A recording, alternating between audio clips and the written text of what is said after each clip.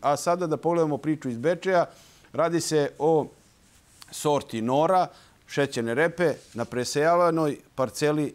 Čovek je prezadovoljan, ali neću da spominjem cifru, da će mnogi reći da je preterujemo, ali verovali ili ne, šest vagona po jutru imao.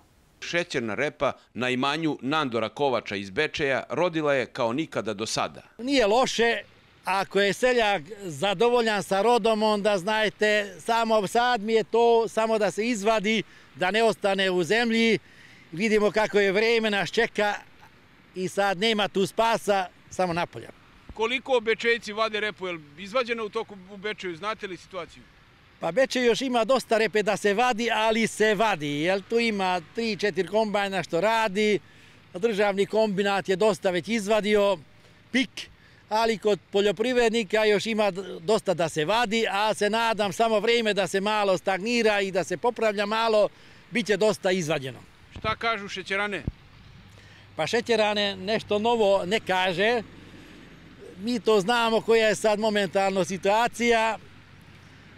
Repa ima dosta posejano, možda malo fali šećera od toliko silne padavine što je bilo ove godine ni ne može da bude ne znam šta, ali pošto ja radim sa Teto Sentom, ja sa njihovom stručnom ekipom i sa saradnjom između na mene i, i Senčanske se, šeća, šećerane saradnja dosta dobra, pa i zafaljem njima, ako uspemo to sve da izvadimo, bit će dobro. Poseban aspekt ovog izveštaja čini to što je rekord ostvaren sa NS sortom Nora, sortom koju treba da upamtite i vi, jer za predstojeću setvu sigurno je da će biti tražena, pošto našim gledalcima ne može da promakne ništa što je dobro.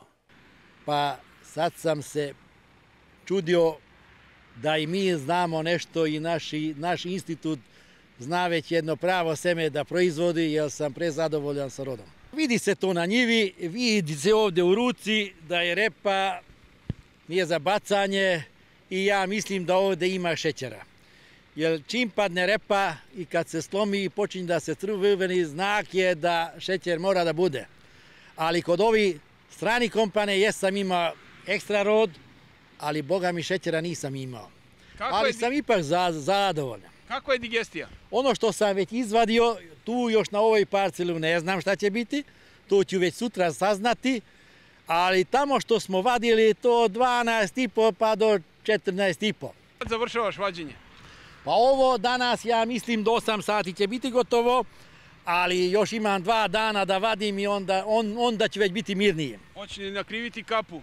Pa ja mislim da ću nakriviti, ali ne znam da li ću toliko sa parama nakriviti, pošto, pošto znamo da i cena je palo šećerne repe, i ako nema digestije, znači onda će pasti malo i roda, ali valjda ćemo nekako krpiti kraj do kraja. Postavlja se pitanje saradnje instituta i vas.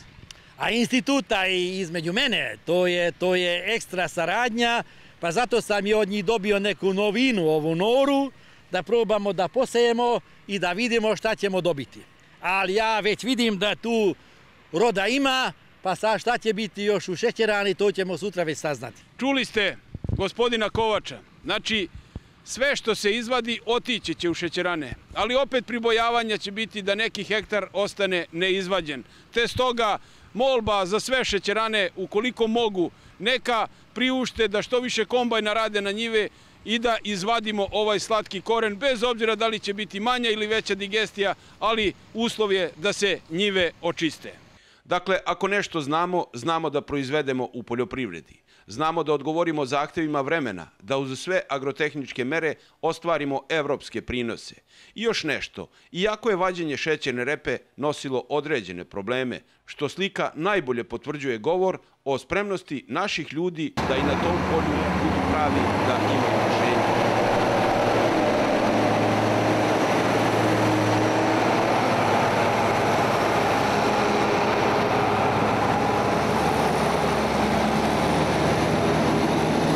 I za kraj, kada naša NS sorta ovako rodi, onda hvala i Institutu za ratarstvo i povrtarstvo iz Novog Sada, koji i dalje gura kao buldožer, terajući konkurenciju na razmišljanje.